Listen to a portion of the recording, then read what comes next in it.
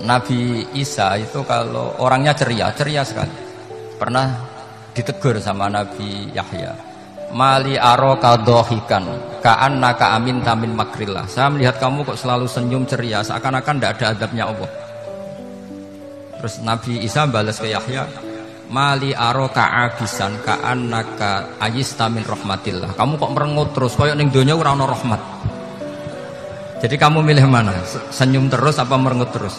Partainya hanya dua, Nabi Yahya sama Nabi Isa. Jadi khazanah itu banyak. Untuk melawan penyakit itu ketakutan itu bahaya. Karena bisa mengganggu imunitas tubuh. Orang harus percaya diri, harus pede.